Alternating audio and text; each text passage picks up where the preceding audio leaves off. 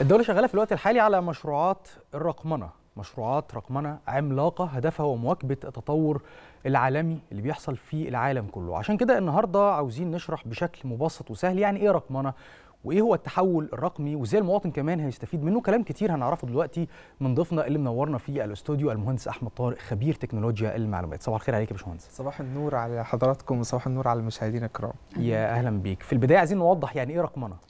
الرقمنه هي التحولات العادية لتحولات رقمية إلكترونية. بمعنى إحنا مم. المعاملات الورقية القديمة اللي كانت بتحصل بيتم معالجتها ويتم حفظها بشكل إلكتروني بحت. يعني كل حاجة هتكون رقمية من لإلى من التحولات الورقية للتحولات الرقمية بشكل عام.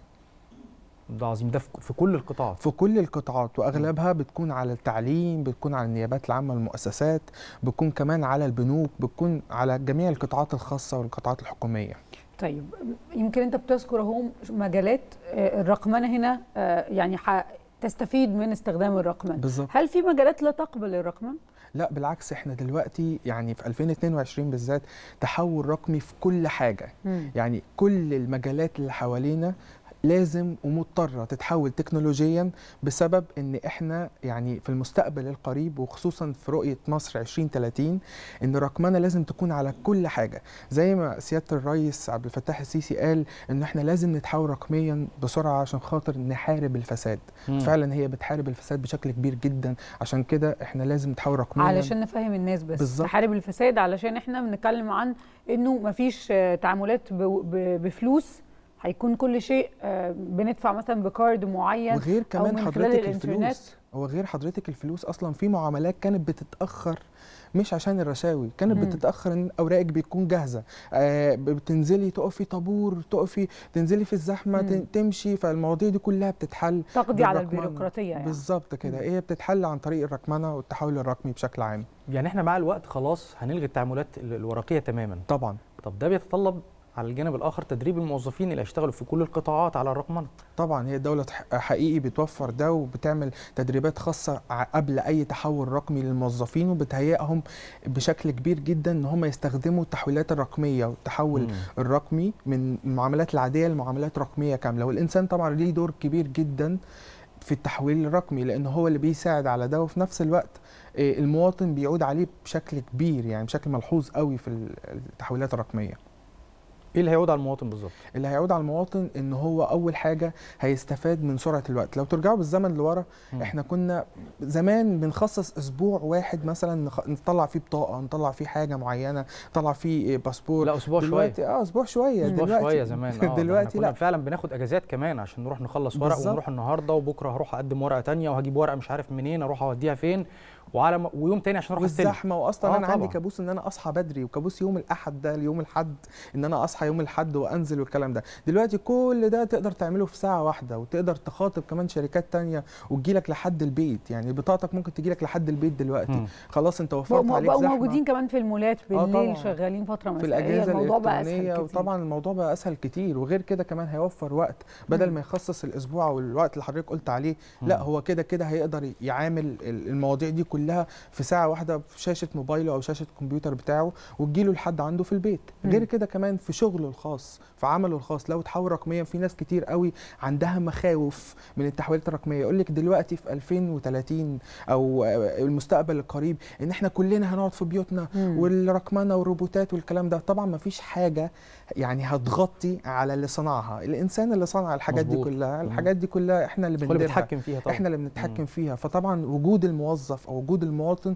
ليه دور كبير جدا في الشغل الإلكتروني أو ال- ال- التحويلات الرقمية مم. فطبعا هيعود عليه بحاجات كتير طيب ماذا ينقصنا يا باشمهندس أحمد للتحول الرقمي هو كده كده إحنا ماشيين طبعا بشكل سليم جدا في مصر وخصوصا إن إحنا يعني أول مدينة رقمية كانت بورسعيد وبعد. كده دخلنا في العاصمة الإدارية البنيه التحتيه كويسة جدا طبعا إحنا كل اللي ينقصنا هو وقت بس مجرد وقت بس بحيث إن إحنا نحول النيابات العامة المؤسسات الحكومية القطاعات الخاصة القطاعات الحكومية إن هي تتحول رقميا هو مم. مجرد وقت بس وفي نفس الوقت البنية التحتية تكون مؤمنة بشكل جيد لأن هي. دي من العوائق اللي بتلاقيها طبعا إحنا بنسمع عن كده كتير في بلاد كبيرة بيحصل اختراقات في. أجهزة مهمة جدا وحساسه. في الدولة بخصوص أمن المعلومات مم. وبخصوص الموضوع ده لازم يكون متوفر بشكل كبير جدا لأنه لو مش متوفر يعني مش. هيكون بينا حاجات من الموضوع ده. طيب عظيم جدا. أنت اتكلمت في نقطة برضو غاية في الأهمية زي ما قلنا تدريب ال- الموظفين. لا ده إحنا في حاجات تانية. إحنا كمواطنين وإحنا قاعدين في بيوتنا لازم إحنا كمان نكون بنعرف نعملها. هل الاستخدامات سهلة؟ عشان برضو مش كل الناس بتفهم قوي في التكنولوجيا. أنا عشان أدخل مثلا وأجدد البطاقة بتاعتي من خلال ال- الموقع مثلا وبرضو أقدم على طلب استلامها عن طريق البريد أو أي شركة من شركات التوصيل. هل ال- الإجراءات اللي بنتبعها على الموقع سهلة وبسيطة؟ أي حد ممكن يعملها؟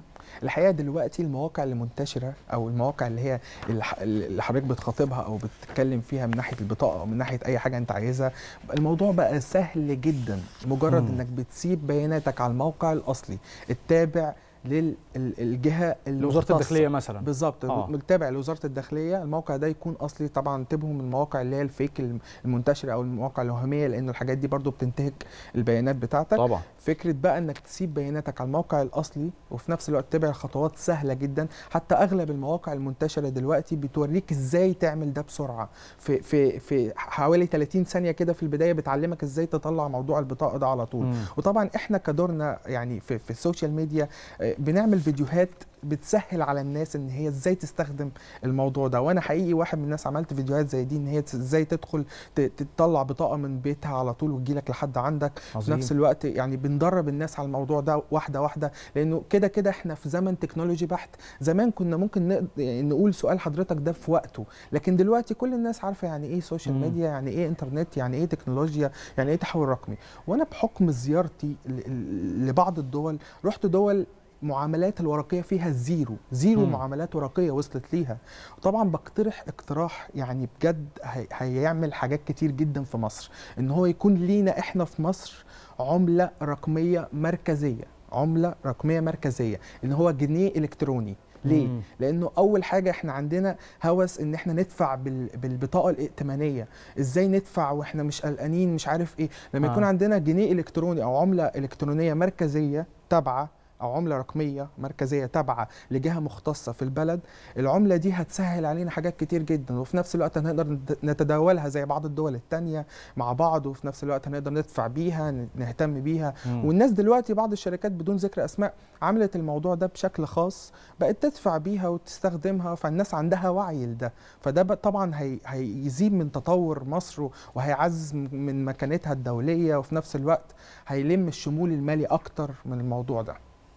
طيب موضوع ال followers اللي حصل على فيسبوك وإنه الناس طبعاً. فجأة لقت نفسها أي حد فوق آه، 10000 followers نزل ل 9000 إيه اللي حصل؟ واللي تحت كان طلع ما سألناش كان عنده 1000 ما 2000 اهتموش. كده آه يعني بنتكلم بقى على عنده هيزيدوا. 14000 و15000 الحقيقة أنا واحد من الناس مش هقول خسرت بس أنا آه. نقصت حوالي 200 ألف متابع على حسابي الشخصي بس مم. طبعا هوضح للمشاهدين الموضوع ده هو ما. تمش أي رد رسمي من فيسبوك لحد هو ما تمش؟ أي رد رسمي بس هو بس كانوا بيتكلموا على إنه فيسبوك تقريبا بيشيل الحسابات المزيفة آه، هي الفكرة مش في الحسابات المزيفة بس مم. خالص آه، ال- الموضوع كله الناس فاكراه على البيجات أو الصفحات ال- الخاصة لا الصفحات موجود زي ما هي ثابتة. اللي نقص ع- بخصوص الفيسبوك بس إنه أكتر الناس نقصت منهم متابعين ووصلت 9000 followers الحقيقة إن مارك مؤسس الفيسبوك بيحب دايما البروباجندا مم. بيحب دايما إن الناس تتكلم كلها عليه.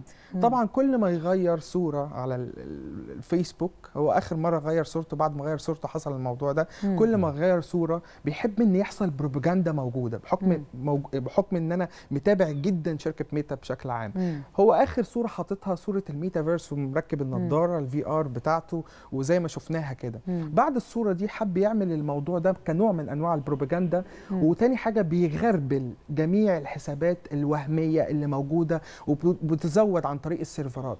لأنه دلوقتي طلعوا قرار في- شركة ميتا نفسها إنه أي server بيتم تزويد المتابعين ليه يعني دلوقتي إحنا بنصحى من النوم نلاقي واحد عنده 2 مليون 3 مليون مم. متابع مم. متزود له عن طريق server وبيتكلم في ح- في نقطة مهمة جدا في الدولة مم. وبيتكلم في حاجات مهمة جدا فده بيدي مصداقية فالناس بتصدقه فبتروح ورا الحاجات الوهمية اللي منتشره والشائعات والكلام ده وده اللي بيعمل الشائعات فالفيسبوك بيحارب النقطة دي بيغربل الموضوع مم. ده الحقيقة ما نقص المتابعين هي الناس فاكرة إن المتابعين نقصت طيب لا بالعكس أنا؟ بخش عندي بلاقي عندي 200 وشوية ألف اللي هو في حسابي الشخصي. مم. لكن شكله من بره نزل بحيث إن هو يبقى فيه بروباجندا على مو- على موضوع مم. الصورة. دي حاجة يعني تقنية هو قاصد يعمل. ده؟ آه طبعا. آه. لأنه كده كده أصلا بيبقى فيه مشكلة تقنية جوه الفيسبوك. بس وفي دي نفس الوقت دي دعاية لا. مباشرة. لا هي مش حكاية بالسلب هي دي دعاية لا مباشرة لحاجة هو عايز يوصل لها زي كل مرة بيغير صورة معينة. آخر مرة هو حط صور البكسلات بتاعها قليل جدا من ناحية موضوع الميتافيرس وطبعا الميتافيرس ده عايز له حلقات نتكلم مم. فيها مم. من ناحية موضوع الميتافيرس حط صورة البكسل بتاعها تع... يعني تعبان ضعيف. قوي مم. طبعا هو مش يعني مش مش مش تعبان قوي لدرجة إن هو ينزل صورة زي دي صحيح. لا بالعكس مش ضعف إمكانيات مش يعني ضعف طبعاً. إمكانيات لا هو نزل الصورة دي خلى العالم كله حرفيا يتكلم عن الموضوع ده بعد كده نزل الصورة الثانية اللي مجهزها أصلا فدي حاجة يعني بتعملها الشركات الكبيرة. بحيث إن هو دايما بيبقى عليه بروباجندا سلبية وطبعا الفيسبوك أكتر منصة شهيرة بتاخد مننا كمية أذونات لدرجة إن إحنا بقينا تجارة في إيدين الشركات ال- ال- ال social media من ناحية الدعاية والإعلان آه. فمن ناحية موضوع ال followers لو هنرجع ليه هي ما نقصتش هي already بس بيحصل غربلة وتحديث في منصة ال- الفيسبوك تحديدا وده برضه ممكن يحصل في الانستجرام الانستجرام بعد فترة بسبب إنه منعوا برضه حاجة مهمة جدا. في ناس كانوا بتزود متابعين عن طريق السيرفرات. من دول تانية أو متابعين اكونتات fake فدي اتمنعت. هو آه هيتزود لو أنت هو هو طلبت باشمهندس التزويد. معلش يعني إيه account fake أو account وهم يعني حلو المفروض إن ده. عشان يتعمل لازم يكون فيه إيميل واسم وما تتشابهش. الإيميلات مع بعض. هي الفكرة كلها من ال account ال fake إنه بيكون معمول مثلا بكمية كبيرة عن طريق شخص واحد. يعني أنا ممكن أكون قاعد عن طريق سكريبت معين أعمله بإيميلات وهمية مش موجودة بس أملى عدد بيها عشان أحطها في السكريبت بتاع التزويد أو أحطها في ال server بتاع التزويد بشكل عام أو أستخدمها استخدام خاطئ. دي من ناحية ال account ات ال fake. ال account ات الفعالة اللي هو الشخص المفروض المتاح لكل شخص account واحد بس مم. ده. المتاح بحيث بالإيميل بتاعه بالإيميل بتاعه آه. برقم الموبايل بتاعه بالطريقة الصحيحة اللي معمول بيها ال account. لكن ال account ات ال fake بتكون موجودة بكثرة جدا بحيث إن هم بيجيبوا الرقم بتاع التزويد ده من الأكونتات الفيك دي مم. فإحنا لو هنرجع لموضوع الإنستجرام مثلا أو كده طلعوا برضو نقطة أو حاجة كويسة جدا وشايفها حلوة بصراحة. إنه هيقلل من موضوع التزويد اللي بيحصل مم. فده هيحارب الشائعات اللي بتنتشر لأنه زي ما قلت لحضرتك إحنا في زمن الرقمنة الأرقام مم. زمن الأرقام ده كل ما بيحصل يعني اكونت عليه مثلا 2 3 مليون 200 ألف 300 ألف بنلاقي فيه مصداقية. آه أنا ده إيه ده؟ ده عنده 300 ألف. طب لا صح بي- بيتكلم صح. طب ما الناس كلها دلوقتي عندها هوس الميديا في الموضوع ده. مم. فطبعا ما تمشوش ورا الأرقام. الأرقام كلها وهمية حاجات مدفوعة. حتى مشاهدات الفيديوهات اللي بتكون موجودة كلها مجرد أرقام. مش فلوس؟ لا أرقام. يعني حتى دي ما تحولش لفلوس؟ لا هي أصلا ما بتتحولش لفلوس بشكل عام حتى لو بالطريقة الصحيحة. لا حتى لو مشاهدات مش وهمية أكيد بتتحول لفلوس مع الوقت. هي المشاهدات نفسها ملهاش دعوة بتحويل الفلوس. آه. كترة المشاهدات لما بيجي عليها الإعلانات بتنتج لك فلوس. مم. طب والإعلانات ما بتجيش على الأكونتات الوهمية؟ لا الإعلانات لو الأكونتات الوهمية دي طبعا مش محققة شروط أي حاجة آه. فمش هتيجي عليها إعلانات لو هي على منصه اليوتيوب أو على على أي منصة تانية. فبالتالي بتكون أكونتات وهمية أو ميتة بمعنى الكلمة. مم. يعني ما فيش حد فيها شخص واحد هو اللي عملها أو مجموعة أشخاص عملوها عن طريق برامج بتكرر الموضوع ده. فهي ال- الكلام كله في حتة ال- ال- المتابعين ال- ال- اللي بيتم تزويدهم عن طريق ال server ات الوهمية. مم. طبعا إحنا شفنا الأيام الأخيرة ناس كتيرة جدا بتطلع شائعات في البلد غلط والبلد بتطلع تصححها. ودول كتير برضو وقعت في الموضوع ده بسبب آه كنت لسه هقول لك ما دام الموضوع ده. جاي من مارك وشركة فيسبوك يبقى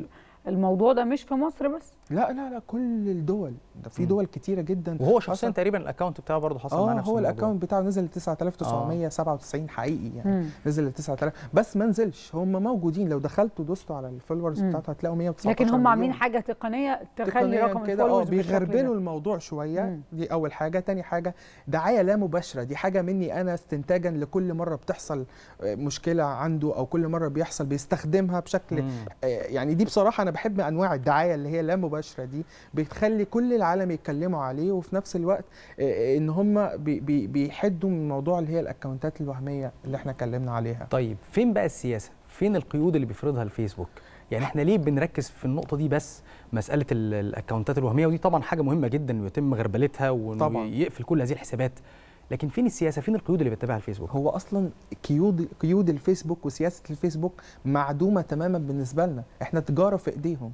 يعني إحنا دلوقتي ع- لو طلعت في موبايلك دخلت على الفيسبوك هتلاقيه واخد إذن لكل حاجة عندك. مم. يعني الكاميرا 24 ساعة المايك 24 ساعة كل حاجة حواليك لدرجة إنك لما تقول منتج معين هتلاقي طالع لك إعلانات طالع بسبب زمان كانت بتتخض. من ده بالظبط الناس بتقول لك ده اختراق ده. مش عارف إيه هي مش اختراق هو already أصلا بموافقتك مم. أنت بياخد إذن منك إن ياخد أسماء بس في applications يا باشمهندس بتقفل الحاجات دي طبعا في. applications اتكلمنا عليها هنا برضو في فقرة صباح الخير يا مصر آه، اتكلمنا عنها إن هي بتقفل الموضوع ده مم. بس طبعا هي حاجة مهمة جدا أي حد أي حد بيكون في جهة مختصة أو جهة يعني حساسة شوية في الدولة أو غير كده لازم يقفل الأذونات دي بشكل يومي.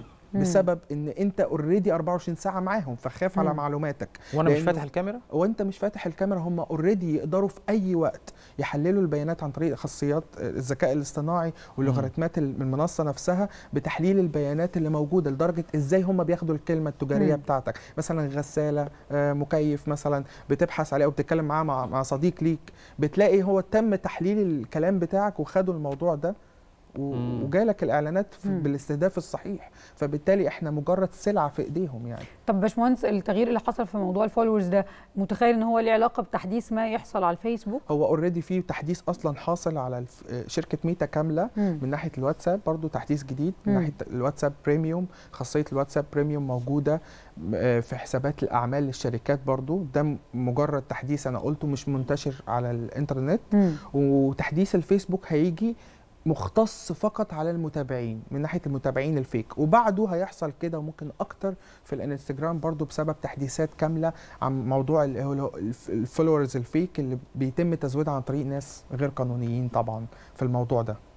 طيب إحنا يعني بنشكر حضرتك شكرا جزيلا. باشمهندس أحمد طارق خبير تكنولوجيا المعلومات. شكرا جزيلا على وجودك معنا شكرا ليكم